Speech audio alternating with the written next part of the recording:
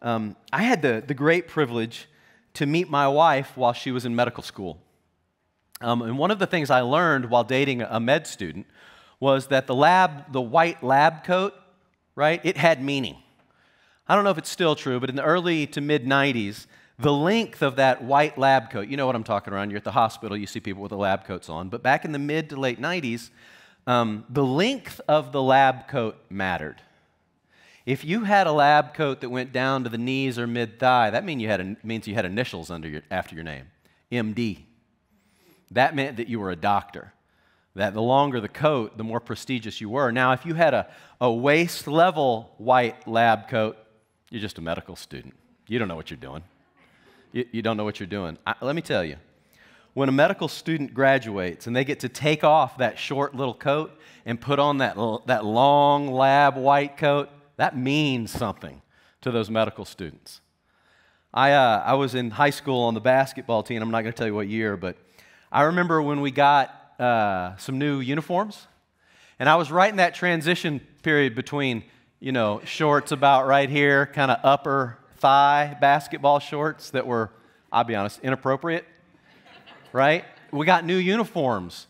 And then we got those long, hip, cool, the ones, the shorts that went down to the knees. I, I tell you what, we could not wait as a team to get off those little, those little Daisy Duke shorts and put on those long hooping shorts that we'd finally been given. There's something about taking off the old and putting on the new. There's something to removing the old and putting on the new. It, it, it, has a lot of meaning. It meant a lot to my wife and her classmates at Baylor College of Medicine. It meant a lot to me and my teammates at Stratford Senior High School. And I think we're going to find out that it means a lot to the Apostle Paul and to a church that he is writing in the town of Ephesus. Open up your Bibles, grab your Bible journals, open up your smartphone, pull open your Bible app, and turn with me to Ephesians chapter 4. We're going to be looking at verses 17 to 32 this morning. In the first three chapters of Ephesians, Paul wrote um, to the Ephesian followers of Jesus and, and that they are in Christ, and that should result in their worship of God, the triune God. And then in chapters 4, 5, and 6, the second half of the book of Ephesians, we see how that position of being in Christ, how that should reshape how the Christian Ephesians and how we should live our lives. In Ephesians, we see the gospel story and how it reshapes our story. Last week, we saw that because followers of Jesus, because we're because we're in Christ, there's this picture of a deepening fellowship set between us, right? An eagerness to maintain unity and celebrate and use the God given diversity of gifts that, that God has given us. And by doing so, we grow in our maturity. The result of the church's unity and diversity is the church's maturity. The small letter written by the Apostle Paul, it challenges followers of Jesus to not just know a list of facts, to not just win Bible trivia about Jesus, but to actually know and allow Jesus to reshape who we are. Let's jump in. Chapter 4, verses 17, 18, and 19 to begin with. Now, this I, Paul, so this is Paul, now this I say and testify in the Lord that you must no longer walk as the Gentiles do in the futility of their minds. They are darkened in their understanding, alienated from the life of God because of the ignorance that is in them, due to their hardness of heart. They have become callous and have given themselves up to sensuality, greedy to practice every kind of impurity.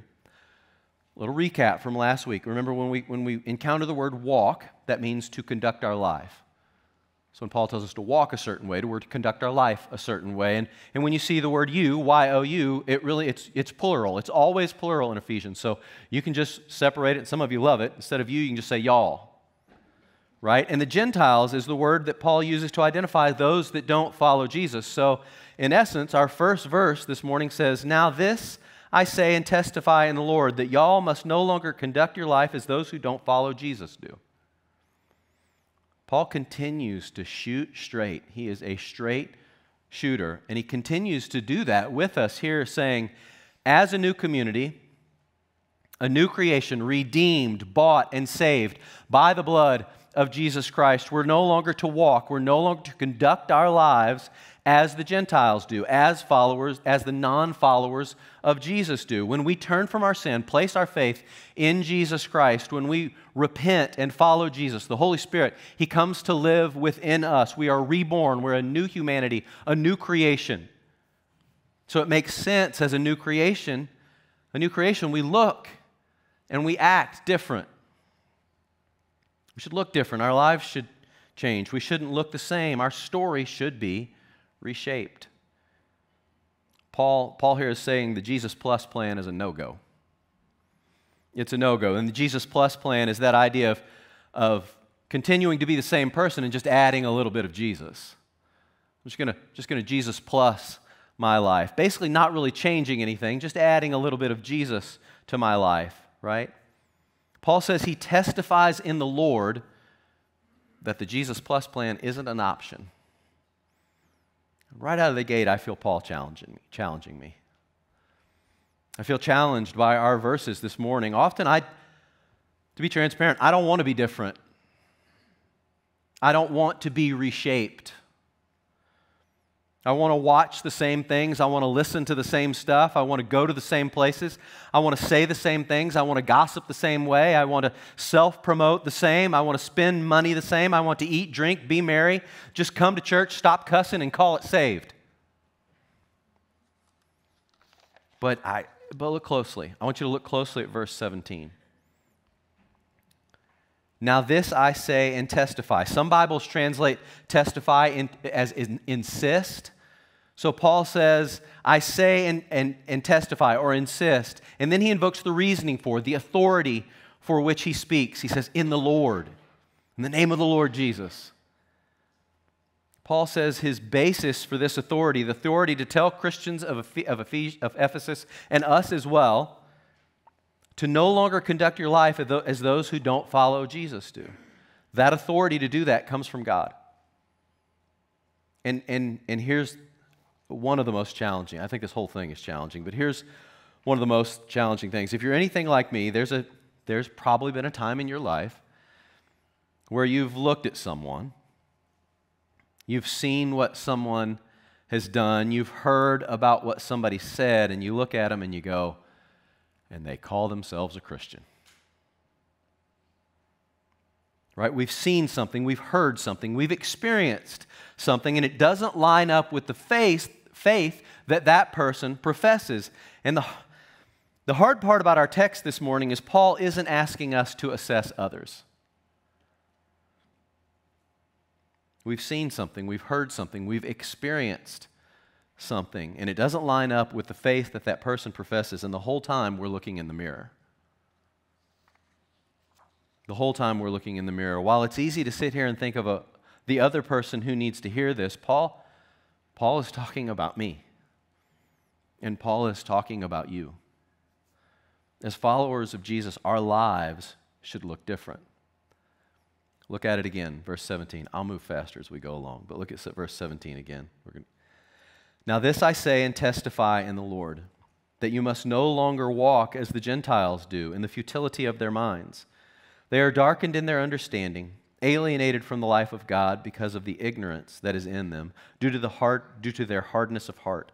They have become callous and have given, given themselves up to sensuality, greedy to practice every kind of impurity. Paul talks about both the mind and the heart, both the mind and the heart of the Gentiles, those who don't follow Jesus Christ. And I want to talk about this phrase, futility of the mind.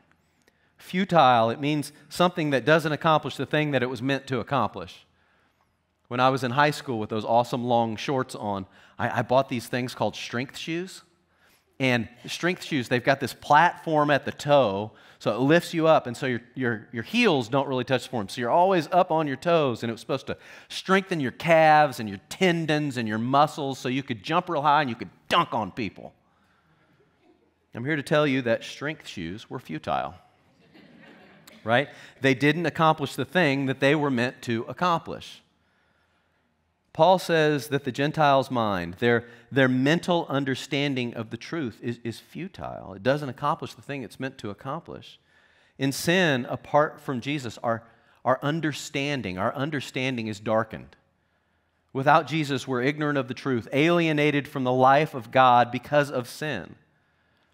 And I think it's really possible that as Paul writes these words, he's, he's almost writing autobiographically, right? Remembering himself before he had an encounter with Jesus, right? There, he was once an unbelieving but brilliant scholar of the Bible, a brilliant scholar of Jewish history. He probably thought of himself as enlightened. Yet, only after an encounter with Jesus on the road to Damascus, where he was blinded, only then did Paul come to see that he had been walking in utter darkness, and in Christ, he, only then and now walking in Christ is he walking in the light. Paul is saying that apart from Christ, sin produces a malfunction of the mind. Paul writes that this blindness, this, this, this darkened understanding, is due to a hardness of heart. He says that their hearts have become callous, which results in sensuality, greedy to practice every kind of impurity. I really appreciate the use of Paul's word, word of callous here. It, I find it particularly helpful. When I work with my hands throughout the summer months, right, I get calluses, right? My hands toughen up. But early spring, when I'm in the garden or if I'm cleaning my wife's uh, horse stalls, right, I, I get blisters. They're, my hands are painful and they're very sensitive. But late in the summer, I don't feel that pain. I don't feel that sensitivity on my hands. By late summer, I've built up calluses to, to shield me from the pain, to shield me from that sensitivity on my hands. Paul here is saying that those apart from Jesus, the Gentiles, have a hard heart and are callous, growing insensitive to the dangers of sensuality and impurity. Their minds have not only been affected, but their hearts have been affected as well. This morning, Paul, he paints a, a, bleak picture of those without Christ.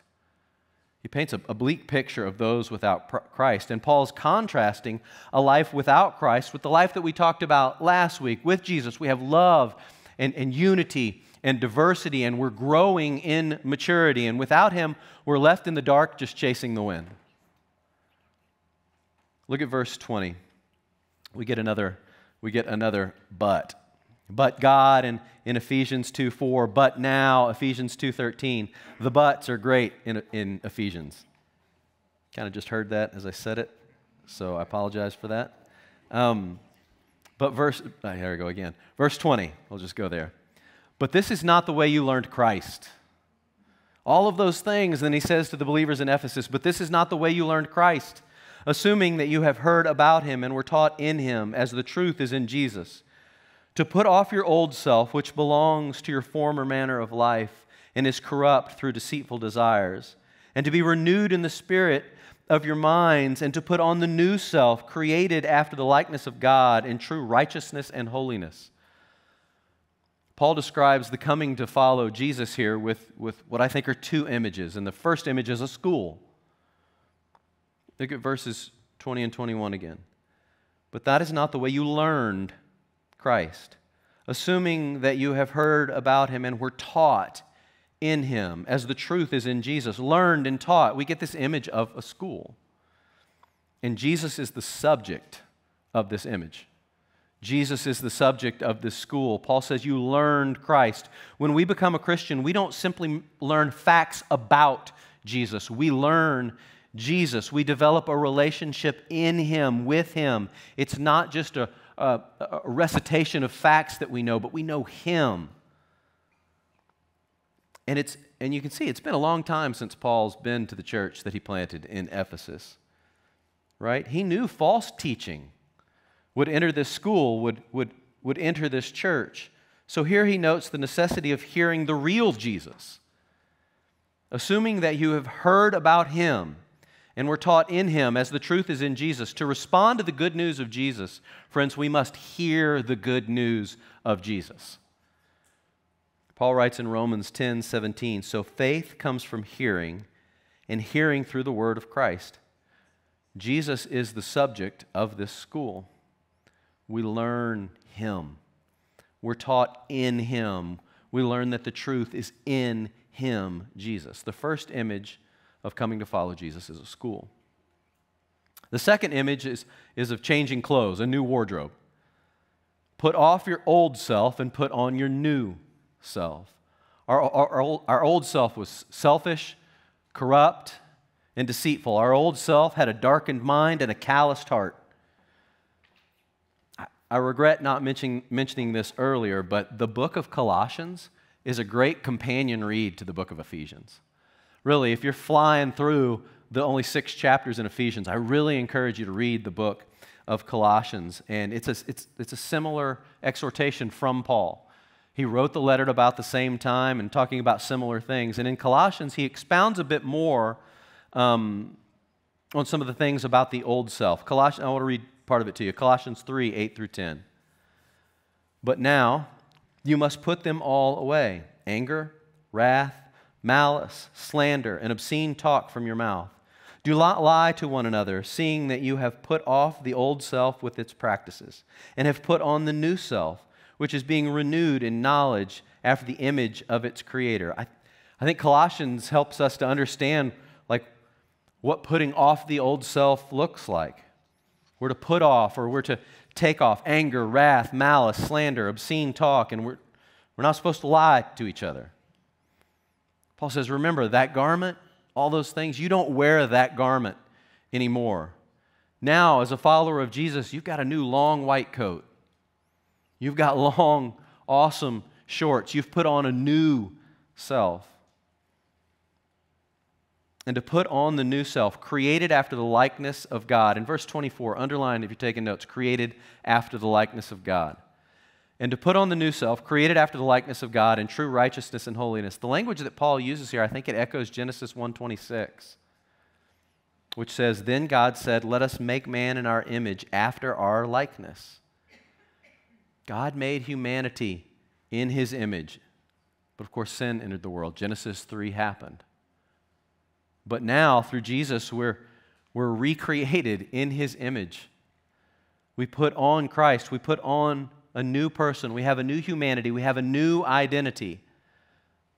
And then in our final verses, 25 through 32, Paul tells us how to live out this new identity. We got to see how, what not to do. Now we're going to get to see what, what to do. So, verse 34 Therefore, because of all this stuff that we just talked about, therefore, having put away falsehood, the old self has been taken off, the new self put on. Let each one of you speak truth with his neighbor, for we are members of one another. Be angry and do not sin. Do not let the sun go down on your anger. And give no opportunity to the devil. Let, let the thief no longer steal, but rather let him labor doing honest work with his own hands, so that he may have something to share with anyone in need. Let no corrupting talk come out of your mouths, but only such as is good for building up, as fits the occasion, that it may give grace to those who hear. And do not grieve the Holy Spirit of God by whom you were sealed for the day of redemption. Let all bitterness and wrath and anger and clamor and slander be put away from you, along with all malice. Be kind to one another, tenderhearted, forgiving one another, as God in Christ forgave you. Here we get a list of, of the way that we're supposed to live. Like, and if you're like a what am I supposed to do type person, you just hit the jackpot. Right? This, this section of Ephesians is for you.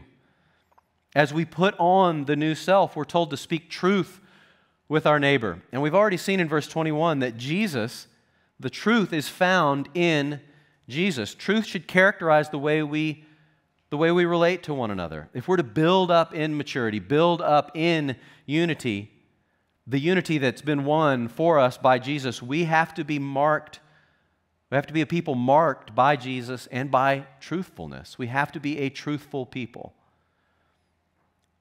We're also to, Paul says, be angry and do not sin. While we use the ESV translation here at LifePoint, I actually think the NIV gets better at Paul, the heart of what Paul is saying. The NIV says, In your anger, do not sin. I think that helps us better to understand it. The anger Paul writes about here is righteous anger. Righteous anger is anger against sin. And as followers of Jesus, we need to feel righteous anger if we're indifferent to injustice, if we're indifferent to the evil that is in this world, then evil will prevail. As the famous quote goes, the only thing necessary for the triumph of evil, is for good men to do nothing. Paul calls us to have this, this righteous anger, and he gives us three kind of warnings. The first is do not sin. While we might read be angry and take it to mean now we have a kind of a green light to throw a fit or complain or seek revenge or dip our toes in a little road rage on Broadway around the holidays, right? We see that's not true. Our anger is, is to be righteous anger, not sinful tantrums. And then the second warning is do not let the sun go down on your anger. It's marital advice 101, right? Go to, don't go to bed angry. That's marital advice 101. Paul says don't let anger fester, even righteous anger, I think, as well. Letting righteous anger fester and simmer can sometimes lead to self righteousness. And that's not good for us or others. And then Paul says the third warning give no opportunity to the devil. I read one quote that took that marital advice of don't go to bed angry just a one step further. It said, Don't go to bed angry or else you'll sleep with the devil. I don't know about that, but I get the point. Letting anger fester, it gives Satan a foothold, right? Gives him a foothold to use that anger to his advantage. Be angry and do not sin. Do not let the sun go down on your anger and give no opportunity to the devil. Look at verse 28. We're going to keep going. Let the thief no longer steal, but rather let him labor, doing honest work with his own hands, so that he may have something to share with anyone in need. Like with, with Quincy covered in now hiring signs, right? I think this is particularly significant for us this morning. We are created to work. Work is a gift from God. Jesus worked as a carpenter. Paul worked as a tent maker. In the Ten Commandments, in the book of Exodus, it says, Six days you shall labor and do all your work. Paul says we shouldn't just see the goodness of work. We shouldn't just see that, but we should also remember the need for work. What's it for? So that he may have something to share with anyone in need. Notice that work isn't time to save up and just, just hop on a pleasure cruise through life. It's so we can help others. It's so we can help others. I've always appreciated the way John Wesley put it work as hard as you can, make as much as you can, then give as much as you can.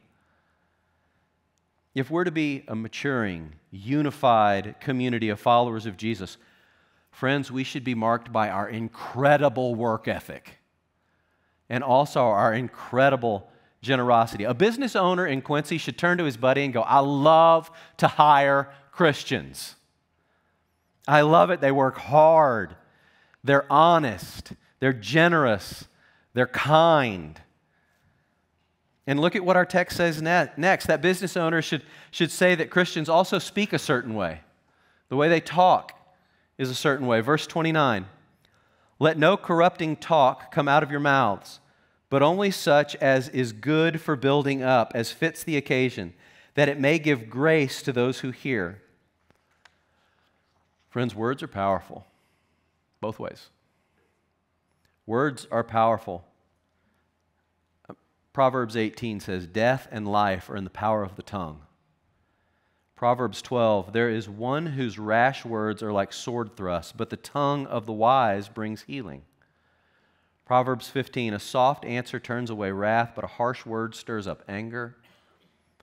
And then Proverbs 16 gracious words are like a honeycomb, sweetness to the soul and health to the body. Words matter. How we speak matters. Corrupt talk doesn't nourish us, it makes us sick. But just as corrupt talk breaks down, kind words build up. I can remember my biology teacher, Mrs. Kennedy, my basketball coach, Coach Evans, Pastor Bill, all people that use words for good, words to build me up that still have effect on me today. As followers of Jesus, our words are to build up, they're not to tear down. Look at verse 30. And. So this verse starts with and, so it means it's connected to our previous verses, right? And do not grieve the Holy Spirit of God, by whom you were sealed for by the day of redemption this warning, it's, it's tied to the rest of our, our verses, right? All the old self ways mentioned in our text, they grieve the Holy Spirit. The Holy Spirit can be lied to, offended, dishonored, disobeyed. Anything inconsistent with the Holy Spirit's nature grieves him. We should ask this question Well, what I'm about to say or what I'm about to do, will it please the Holy Spirit or grieve the Holy Spirit? And you may ask the question, Well, how do I know what grieves the Holy Spirit? How do I know what pleases the triune God, God the Father, God the Son, God the Holy Spirit? We read and meditate and memorize the Word of God. We saturate our lives with the Bible to know what pleases the Holy Spirit, what grieves the Holy Spirit.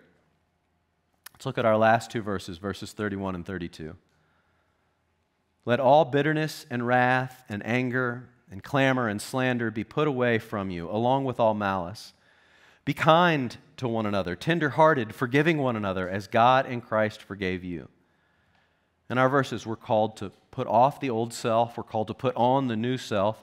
And in our final verses, we get at the why. Like why, why are we supposed to do that? As I mentioned earlier, if you're a what person, like what am I supposed to do? This has been your jam this morning, right? It's been a good morning for you, it's been in your wheelhouse. But there's some of us that are why people. Not necessarily what people, but why people. Why are we to act and talk a, a certain way as followers of Jesus? And I think we get at that why in verse 32. Be kind to one another, tenderhearted, forgiving one another as God in Christ forgave you. Why do we forgive each other?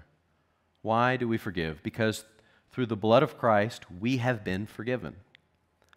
We forgive because we've been forgiven. We are a people forgiven of our sins by the blood, death, sacrifice of Jesus Christ. We have been forgiven, so we forgive others. I think we could say it's that forgiveness, Jesus' atoning death on the cross, that's the why behind all of our verses this morning as we get into kind of the application, the take home, the put in your pocket and leave here part of, of the message, I, I think the why behind our, our verses this morning is our first takeaway. Jesus is our why. Jesus is our what, and Jesus is our why. Uh, we encounter these, these phrases that Paul uses to describe those who aren't following Jesus futility of their minds, darkened in their understanding, alienated from the life of God, ignorance in them, hardness and calloused of hearts right? Given up to sensuality, greedy to practice every kind of impurity. The why behind a life marked by these things is a life not following Jesus. Without Jesus, that's just kind of where our pendulum naturally swings. And I think our second takeaway leans heavily on the first as well as we close this section. We close it with verse 32 Be kind to one another, tenderhearted, forgive one another as God in Christ forgave you. Most of our verses, at least the better part of the first half, paint a picture of what not to do and the dangers of, of not following Jesus. But Paul ends with some exhortations, right? He says, he says, Be kind, be tenderhearted, forgive one another. And each of these things is centered on Jesus, centered on knowing Jesus, centered on learning Jesus. The old self is without Jesus. The new self is a life in Christ, knowing Him. All of this hinges on Jesus the Christ, Jesus the, the Messiah. Our verses this morning, they're all about Jesus. And then the final thing I want to talk about is I really think this is where we get at it a little bit. It's hard. I don't know if you feel it, but I, I think our verses this morning are really hard. Um, I don't know if you feel this way, but why is it so hard for me to put on my new self? Why is it so hard to put on my new self? Because I want to have this righteous anger as I look at all this injustice in the world, but sometimes I just want to turn off the TV. I just want to shove my head in the sand and, and not think about it. Sometimes I don't want to work hard. Sometimes I don't want to work hard, and, and Lord knows my mouth isn't always used for building up. Sometimes I'm not kind, sometimes I'm not tenderhearted, sometimes I'm not forgiving. It's hard. Why am I not better at this?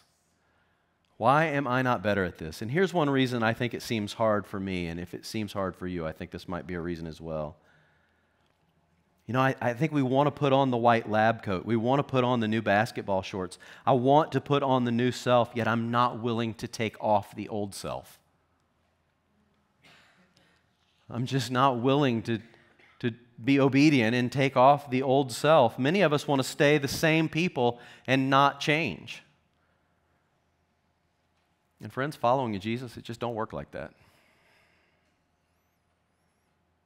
It doesn't. Following Jesus isn't simply adding a few nice things to my life or learning about a few facts about Jesus, but learning Him, being in Him, in Christ. And here's the kicker being obedient to Him. Obedient to what He says, being obedient to what He calls us to do. Learning Jesus, both His character and His calling, and we're to be obedient to that call. Not just hearers, but doers, James says. Obedient to, to Christ's call to allow the gospel story to reshape our story. Following Jesus means being obedient to Jesus. John Calvin said, We cannot rely on God's promises without obeying his commands. Charles Spurgeon said, Obedience is the hallmark of faith. 1 John 5 3, For this is the love of God that we keep his commandments. Jesus himself in John 14 15, If you love me, you will keep my commandments. Those are Jesus' words. And listen, as we move through Ephesians, what we're being called to be obedient to, it's not about to get easier. It's not about to get easier. Paul writes to the Ephesians and says, Now that you're followers of Jesus, you got to be different. Your lives need to look different. You've learned Christ. The truth is in Jesus. Without Christ, you were ignorant of the truth. Now that you're in Christ, you know the truth, and it's got to change you. Put off your old self, put on your new self in true righteousness and holiness. Be truthful, be angry about sin. Work hard, work hard to help others. Use your words to build others up. Be kind, tenderhearted, forgive others because you were once in darkness, but you've been predestined, chosen, adopted, adopted into a family of, of inheritance of salvation that's found only in Jesus Christ. And moving forward, Listen, moving forward, Paul is going to tell us that being in Christ should affect the way we spend our time. We're to be wise about everything from how much we drink to how we treat others. He's going to tell us to be wise about our marriages, with our wives, with our husbands, how we treat our kids, how kids, how you treat your parents. We're to be wise about protecting ourselves from the devil and putting on the whole armor of God. Friends, Jesus is supposed to change everything. It's hard. It's really hard. I find it hard. And I, I, I, wrestled back and forth about how to land the plane here, how to end our time together. I was up late last night, and I just want to end with an encouragement.